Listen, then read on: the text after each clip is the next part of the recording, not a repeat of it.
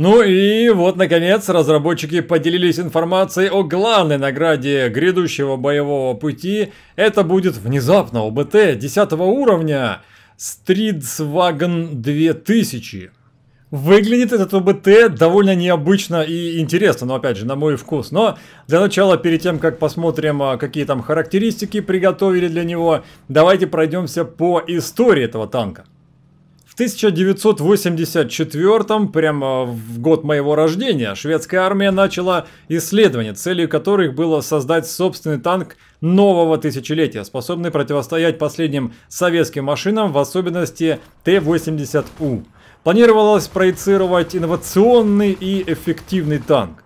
Первой задачей рабочей группы стало исследование проектов УДЭС-11, 15, 16 и 19, подготовленных в 1970-х в рамках программы УДОС и составления списка основных требований к СТРВ-2000.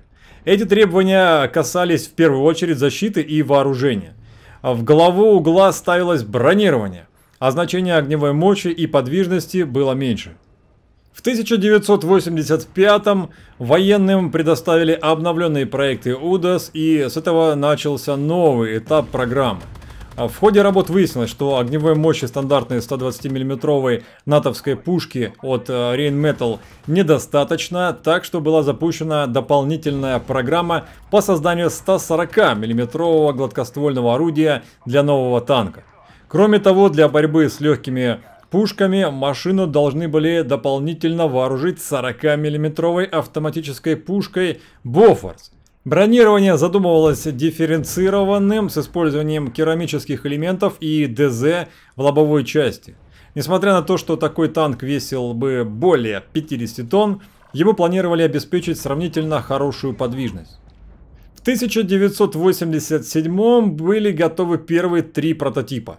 Данный танк представляет собой самый последний, обозначенный как а, Т-140-40. Этот вариант э, получил низкопрофильную башню и 140 миллиметровую гладкоствольную пушку с автоматом заряжания. Он стал единственным, работы по которому продолжились. А в 1980-х а, был изготовлен деревянный макет Т-140-40, однако окончание Холодной войны и распад Советского Союза, как обычно, привели к урезанию европейских оборонных бюджетов. В 1991 году решено, что для шведской армии выгоднее закупать, естественно, немецкие леопарды, чем создавать собственный танк, и проект СТРВ-2000 закрыли. Ну и наконец давайте перейдем к тому, что же из себя этот СТРВ-2000 будет представлять в игре. Ну, естественно, это главная награда боевого пути, которую вы сможете забрать по достижению 50 уровня. Ну и, как обычно, все приведенные ниже цифры пока предварительные. Ну и, собственно, не зря у вас на экране объект 195, потому что там тоже есть, помимо довольно злого, но кривого орудия, и 30-миллиметровая автопушка. Здесь же она будет 40-миллиметровая, и это должно обеспечить еще большую гибкость применения этого ОБТ. Что по броне, собственно, потому что вроде как этот танк же основной упор при разработке делали как раз на бронирование. И, в общем, бронирование здесь будет похоже на бронирование тайпа 10. А потому что там, в общем-то, вся лобовая часть и борта будут защищены композитной броней Нера.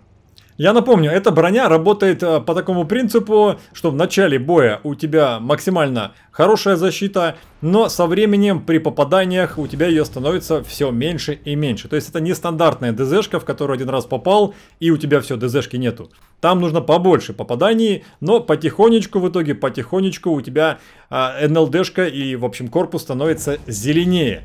Хотелось бы, конечно, увидеть э, на каком-нибудь в инспекторе брони, а как это выглядит, но инфы нету, есть только описание. Лоб башни будет практически неуязвим для всех снарядов. ВЛД и крышу корпуса в лобовой части не получится пробить, пока комплектный РЦЛ. Ну и НЛДшка будет уязвимая для стандартных снарядов. Опять же, потом посмотрим, насколько эта НЛДшка будет сильно уязвима, насколько оно будет большое. Борта будут защищены скорее только в основной передней части, так же как и башня, а вот задняя часть корпуса и башни будут уязвимы для снарядов сразу же с самого начала боя. Также у нас для защиты еще будет касс трофи, и это уже хорошо. Что по подвижности? Под капотом будет полторы тысячи лошадиных сил, что позволит вам разгоняться до 70 км в максималке. До 32 км будет разгон за 5,2 секунды.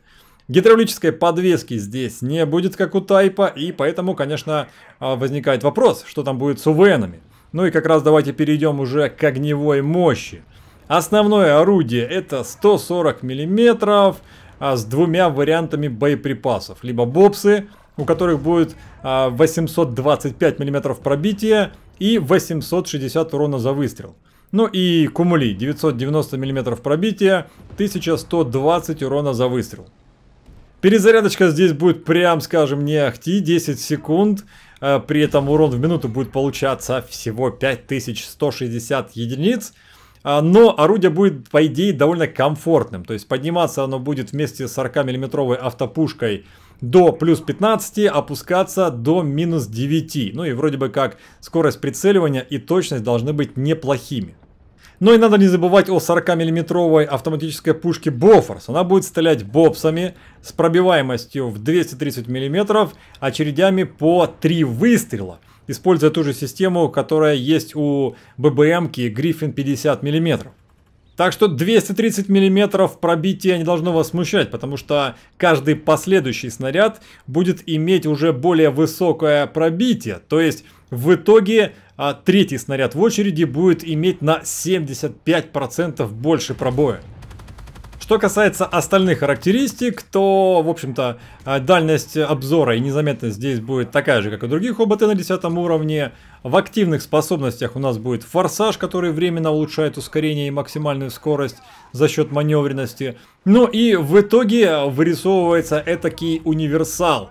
А, в общем-то, так же, как и на объекте 195, вы сможете на нем шикарно играть, что в PvP, что в PvE. Ну, особенно в PvE, потому что там куча картона, вы пока отстрелялись с этой пушки, у вас есть возможность наваливать с автоматической пушки.